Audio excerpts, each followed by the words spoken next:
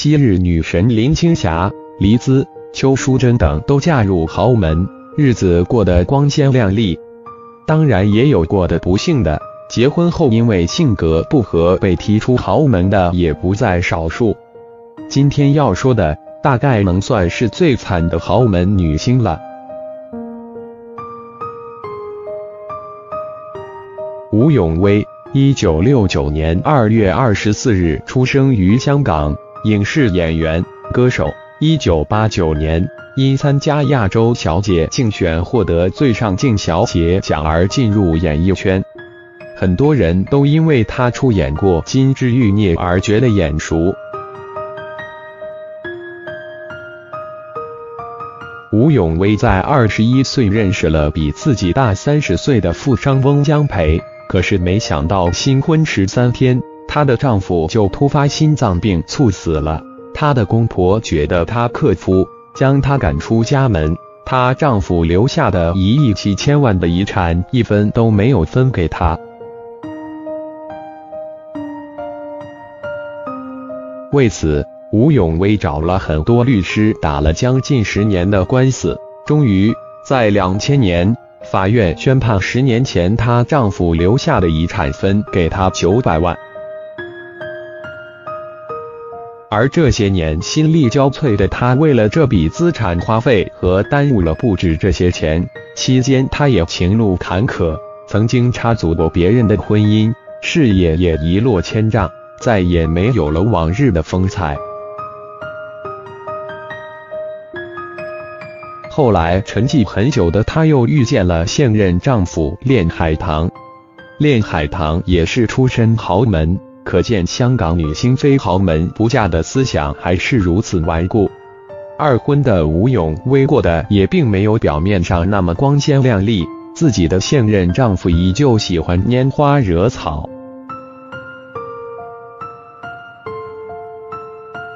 而她却只能一再隐忍。只能说，并不是每个女星都有嫁豪门的能力。反观跳水皇后郭晶晶，虽没有女星一般的容貌，但还是和霍启刚幸福如初。网友们觉得她算不算最惨的豪门女星了呢？欢迎来评论。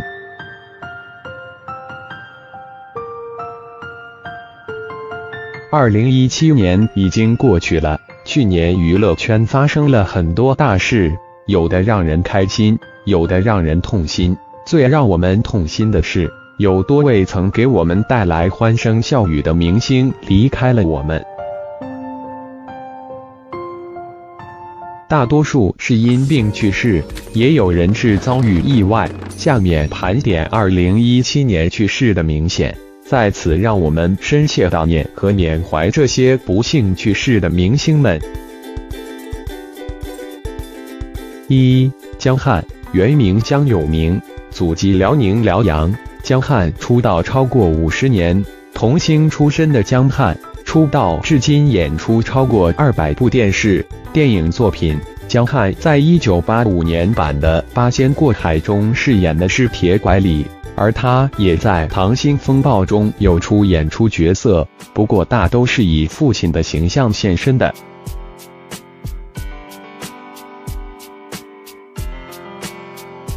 二零一七年十二月七日，江汉于疗养院过世，享年七十八岁。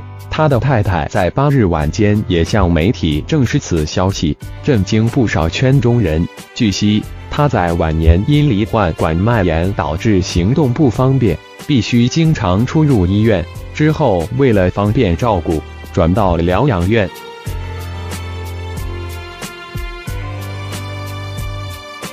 二。严顺开出生于上海市，一九五九年考入中央戏剧学院表演系。在校期间，由于外形条件的限制，严顺开大多扮演喜剧小角色。毕业于中央戏剧学院表演系。